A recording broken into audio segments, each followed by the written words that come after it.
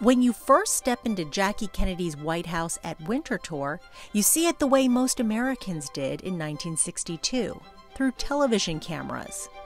It's exciting to see it in this setting because this was a black and white television tour and her suit was this vibrant red, which of course you didn't see in the tour, but you see against the backdrop of the East Room photo here.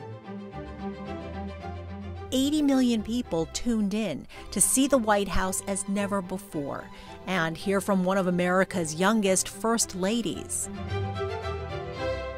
This exhibition is really exploring the time period between 1961 and 1963 when Jacqueline Kennedy, First Lady, called upon Henry Francis DuPont, the founder of Winterthur, to be the chairman of her Fine Arts Committee. And together they guided the restoration of the White House. It transformed the nature of the White House from a house to a museum.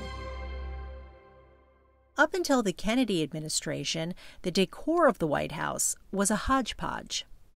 She described the lower floor as sort of looking like a dentist office bomb shelter. Uh, She described rooms as having a very hotel-like feeling, but not the dignity of the, the President of the United States.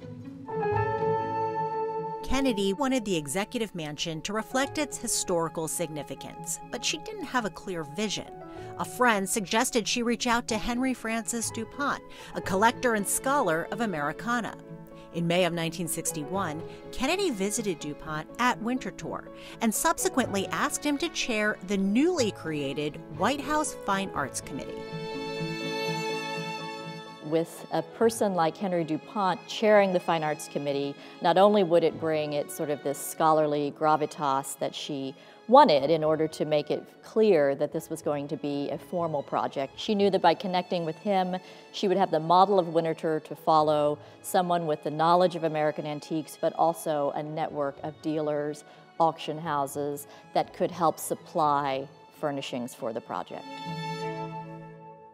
This was really a story that you'll see when you come to the exhibition that is told through letters and telegrams and personal communications.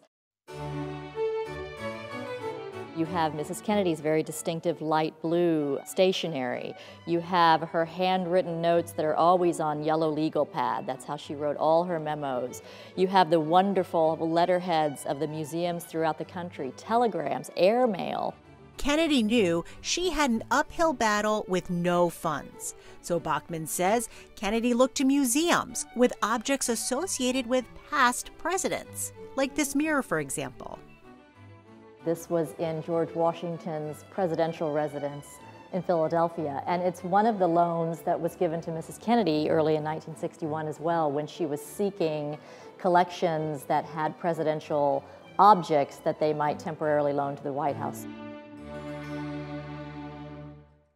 Mrs. Kennedy, very early on, stuck to the idea of having a guidebook that could be sold from the White House. And this was really discouraged by her husband's advisors who thought that it was going to be tacky. But she was adamant that it was by having tourists have something to take away of scholarly value that really described what they saw. So it was then that the White House Historical Association was really formed as a nonprofit that could create this guidebook take in the donated money. And they sold it at a dollar a copy initially.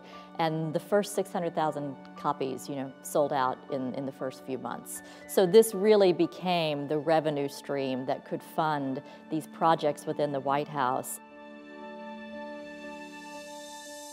The nonprofit still exists today, raising money for upkeep.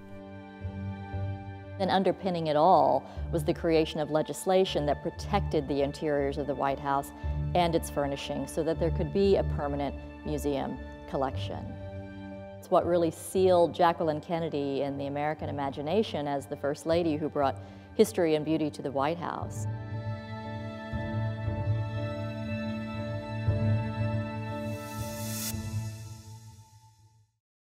I'm Shirley Min. And I'm Regina Mitchell. For more videos like this, subscribe to WHYY.